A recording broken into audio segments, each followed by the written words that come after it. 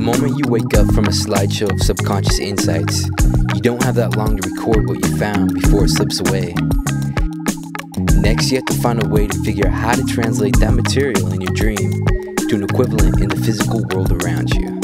Paper is everywhere.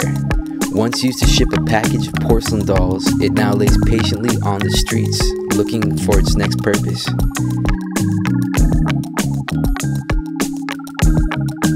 Your job is to repurpose that which your community considers waste and use it to materialize the very design of your dream.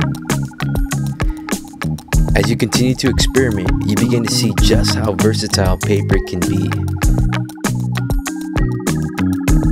It becomes clear that what was once thought impossible was only impossible to the person who said it was.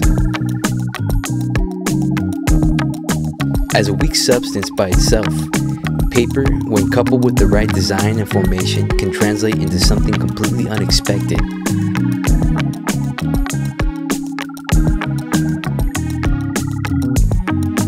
You may fail once, twice, or even more, but that is only proof of your progress.